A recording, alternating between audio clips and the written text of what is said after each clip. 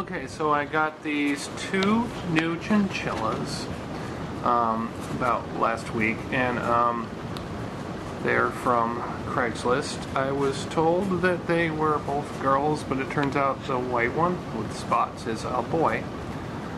Um, probably don't have to worry about them breeding because they've been together for a while, and I'm pretty sure one of them might be infertile.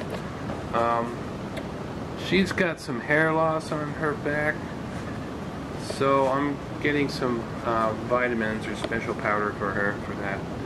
Um, so anyway, um, other than that, they both seem pretty happy. Um, uh, but this guy, he needs a little work. Um, he's a little bit timid. Uh, she's a little tamer. Her name is Priscilla, and uh, his name is Snow. So yeah, uh, these are my new chinchillas, and I hope you think they're cute.